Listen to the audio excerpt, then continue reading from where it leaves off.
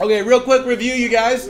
The last step, once you have your, you know, in a day or two, whatever, once you guys have your your uh, entry stuff all good to go, and you want to paste it into our website, the very last step, this only has to be done by one person, right? Not everybody, just just whoever's whoever you guys elect to be the master, queen, or king of the of the pasting in. So here I am. i have logged in, right? I've gone, gone to our coastal wiki.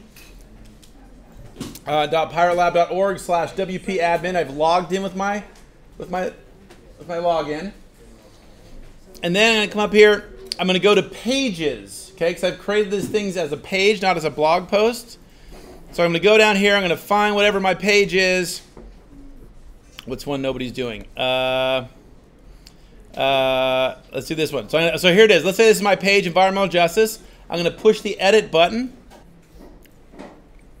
And here's what it looks like, right? So this, this is how it should look. So most of the stuff you guys want to do, you want to be on the visual tab uh, option.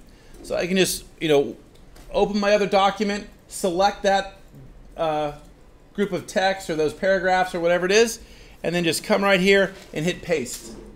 When you're done, because there might be some formatting stuff between Google Sites and this, just come back here and let's check. My introduction, if I highlight that text, check it out. Right here, it's heading one. That's what we want. We want it to be the, you know, the, the top thing.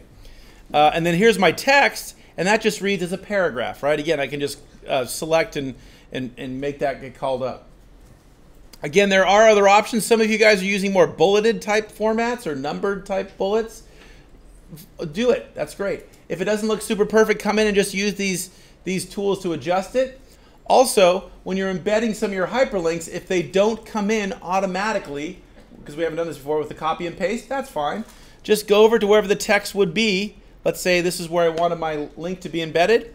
I just hit the link and I would paste my link into there and we're good to go. I suggest you guys, the best practice, click that thing and just say open in a new tab that way your website will stay open if they click a hyperlink. It won't it won't take them out of your website, but that's not required. And there we go. Good to go. Here's the la- here's the last tricky part that Joanna and a few folks were asking about. What about my embedded? And so you guys remember you guys remember how to do the multimedia? You just say add media, upload the file. So here's that the last one that might cause you some question is how do I embed my Plotly graph? How do I embed my interactive uh, bar graph or whatever it is? Let's say this is where I want to put it. So this is the one that takes a little bit of paying attention. So everybody eyes up here. So I just made a couple extra spaces to make sure I won't accidentally mess up. I want to put it right after I say four of our questions, blah, blah, blah. Here's the only time I need to not be in the visual tab, okay? I want to be in the text tab, okay? So now it looks like this and looks confusing. Oh my God, I don't know. Just go back to, okay, there we go. You can breathe easy. You're fine, right? It's all good.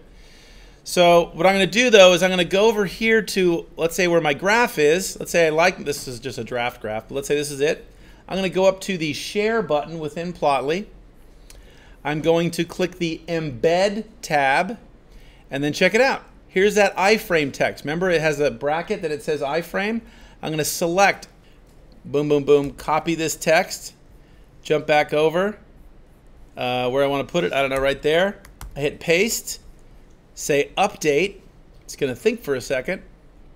And now what this is going to give me a stagnant, this is, this is not, this right here just a, a, a real quick a JPEG or PNG or whatever it does to image it. But now when I go to look at the full, if I've updated it, which I think I just did, if I've updated it, if I want to double check, I can just come to view page. Here's our cool web page, and there's our, our Plotly graph. And again, as we resize it on our mobile phone or whatever, it's automatically gonna gonna tweak and adjust and, and do what it's it's gonna do. Does that make sense?